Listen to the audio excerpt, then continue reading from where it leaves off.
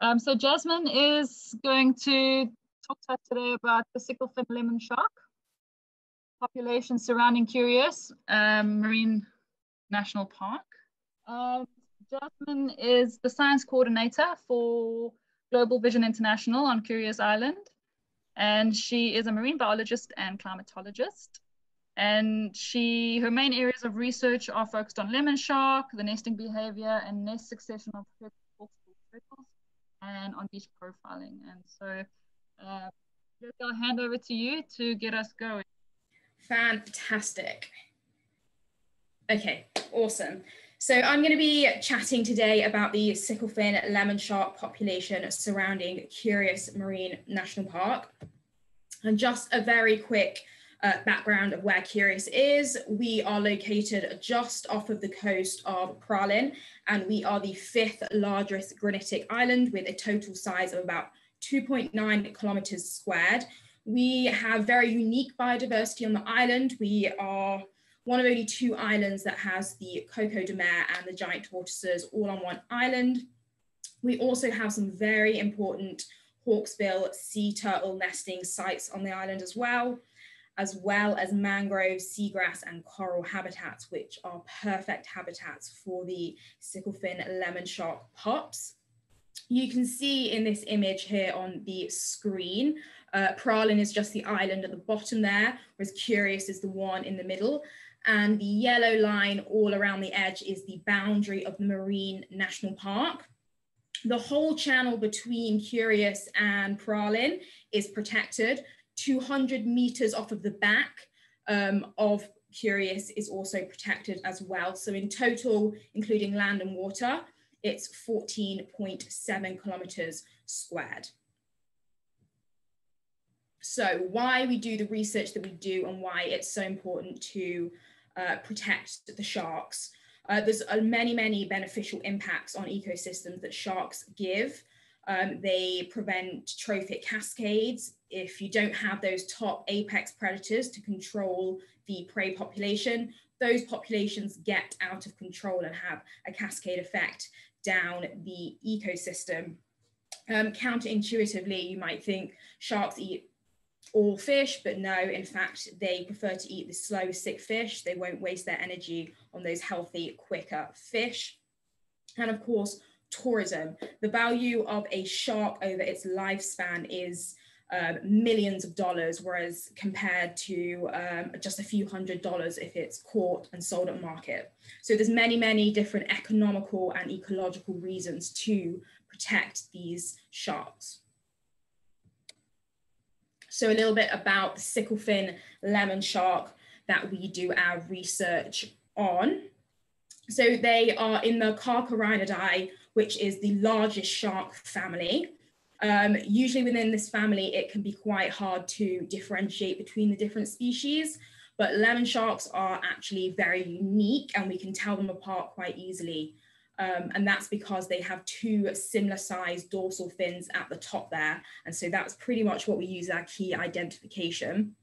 They also have a really lovely lemon color to it in the light as well. They can be found in the blue areas on the map that's just to the right. So that's the rim of the Indian Ocean, North Australia, Indonesia, Japan, and the middle of the Pacific as well. They do frequent shallow waters, uh, which means they are in close proximity to humans, which makes them vulnerable to overfishing and exploitation. And actually, there's evidence of extinction in places like India and Thailand and parts of Indonesia as well. So a little bit more about the habitat that we believe that these um, sharks frequent. We have a zoomed in picture of the east part of Curieuse right here. Um, and again, the yellow line down the side is just that boundary. If we go to the top of the map there, we see Grand Anse and Anse Papai, which is our first and second most popular turtle nesting beach. And just off the coast there, there's coral reefs and a mixture of seagrass as well we come on down into the middle of Curieuse and we have what we call the turtle pond. And this is where we do um, a large portion of our pit tagging survey and get our research from. in the turtle pond, it's a mixture of sandy bottom as well as seagrass, and there's loads of mangroves in there as well. And the maximum depth in the turtle pond is about 1.5 meters. And then if we just go back up to the top of that map there, the deep waters range from about seven meters to 27 meters as well. But it's in the turtle pond that we collect um, the pit tagging survey data. Now, what this is, is it's where we pop a passive integrated transponder, which is just an electronic tag with an individual ID number, and we pop it into the shark. And the aim of this is to inform sustainable management of the Curieuse Marine National Park. We can't come up with effective management strategy if we don't know the basics of the population and the dynamics that they work in. Other information that we're looking to gather is an estimate of the population size, the growth rate through biometric collection, as well as the gender ratios, condition factors, population structures and dynamics, and population genetics through DNA sampling. And a few of these results. In the entire study, we have caught 745 individual captures. So that's from 2014 when the study began all the way until our last survey, which was just last week. We also have 196 recaps, which makes it 27% recap rate. We do believe that the annual um, population estimate is between 255 and 661. Um, and we're in the process of redefining this number with our acoustic tracking program, which I'm going to be going on to in a minute or so. We have had consistent growth rates and population dynamics patterns every single year.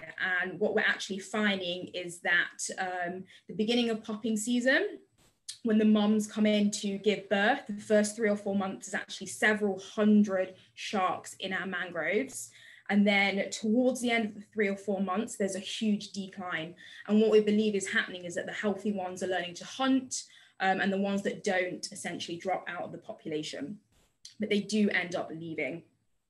Our last season, we actually had a record breaking season, and we got 171 individual captures as well as 45 recaps as well, bringing it to a 26% recap rate overall. This is such a fantastic and important survey and it's important research as well. However, it does have um, some limitations.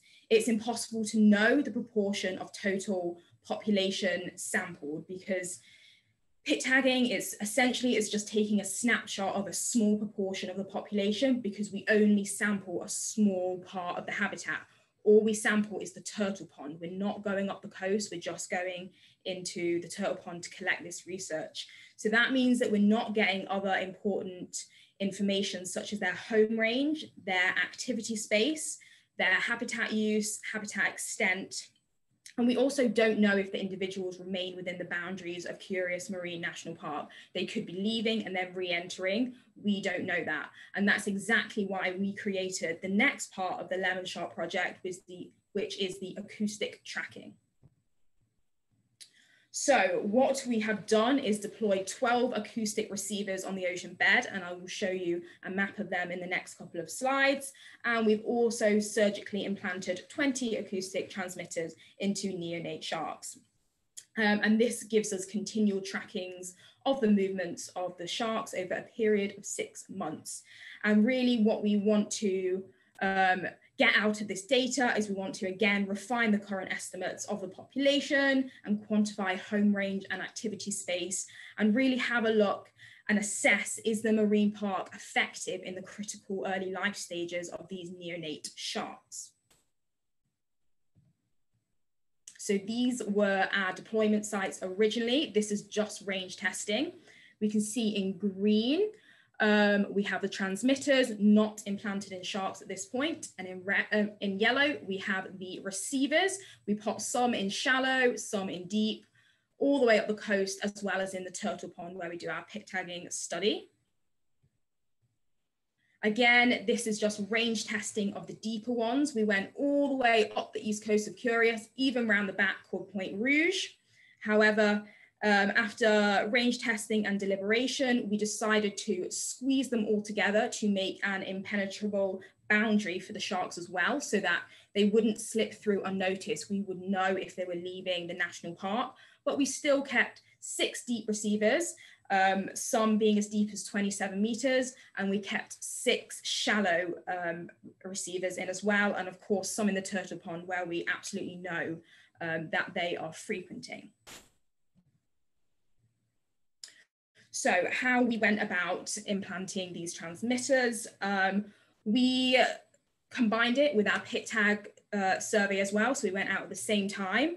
And what we would do, we'd catch a shark, and if it was appropriate for the survey, and appropriate to have a transmitter if it was healthy we would put it in our workup station like in like is in the image we would turn it upside down which is an induction of tonic immobility and it's essentially puts the shark into a hypnotic state so it's as good as anesthesia really we then place a small incision on the ventral side insert the transmitter into the body cavity and then we close um, the wound up with three sutures We'd also continuously replenish that water in the trough to keep those oxygen levels up. And then it would be out back in the water in minimal time, about four or five minutes in total. So the results that we have seen and gotten so far, 12 receivers have successfully been placed down on the ocean bed. 20 transmitters have been implanted into the sharks, which happened in October 2019. 13 of the 20 sharks were either recaptured or detected on at least two receivers, confirming that the surgeries were successful. And all surgery wounds were healed if we did recapture them as well. And we have continued detections of multiple individuals using manual tracking uh, when we go out and do the pit tag survey. We also have some further results, and they are that we have recorded a total of 3,000 329,208 detections in total from the 20 sharks between October 2019 and May 2020. And of all of those detections, only 1,203 were recorded in the deeper water, which suggests a very strong preference for the shallow water habitats, uh, which confirms our hypothesis as well. And also at least four individuals appear to remain active within range of the receivers, which also correlates with observed capture rate patterns during our pit tagging survey. And lastly, I just wanted to touch on that much of our data is still under analysis, but this will be more, uh, this will be completed and confirmed by the end of this month.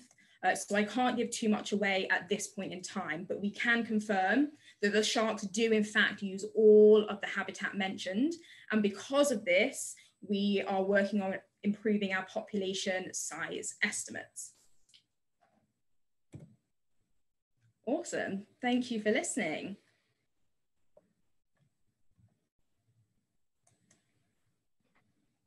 Thanks, Jazzy. Great. Uh, it's really great to see how previous work is building on new work and just to see that long-term stuff happening and that technology is improving and we're learning more. It's great. Right. So, um, I don't know. There are no questions for Jazzy. Anybody? I'll leave you one quick minute um, to ask any questions about that. Um, I'll just maybe ask quickly, what is, you know, so suppose you're wanting this information to feed into the current management plan, future management plans, like, so how, what is, what do you envision happening with, with this data that's being collected in terms of the actual impact have? Right. No, that's a great question. And essentially, a big overarching question for us is um, Is the Marine National Park being effective? Do the boundaries need to be made bigger? That was a huge question for us. And with the East Coast boundary, what we really wanted to find out is if they're passing through the East boundary and do we need to widen that boundary? And again, I can't go too much into the details because they've not been published quite yet, but that's what we're hoping to uh, really see do is the marine park effective with the boundaries it has or does that need to be expanded right um, And then we have one, is there a sex difference um, about the sharks remained or moved away from the research range? Sorry, could you repeat that question? Um, the participants asked if you noticed a sex difference between the sharks that remain or move away from where we you're doing not, the...